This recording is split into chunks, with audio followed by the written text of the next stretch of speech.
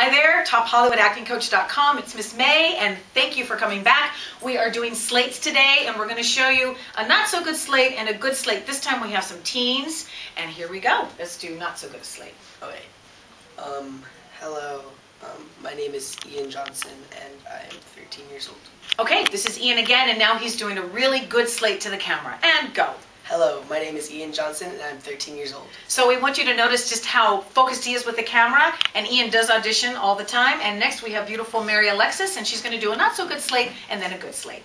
Hi, I'm Mary Alex Daniels, and I'm 13 years old. Okay, and this is going to be a good slate, like I want to get to know you better slate. And three, two, one slate, please. Hi, I'm Mary Alex Daniels, and I'm 13 years old. Good. And you two can come here to 321 Acting Studios in Los Angeles. It's where it all happens. Come back and see us. Bye now.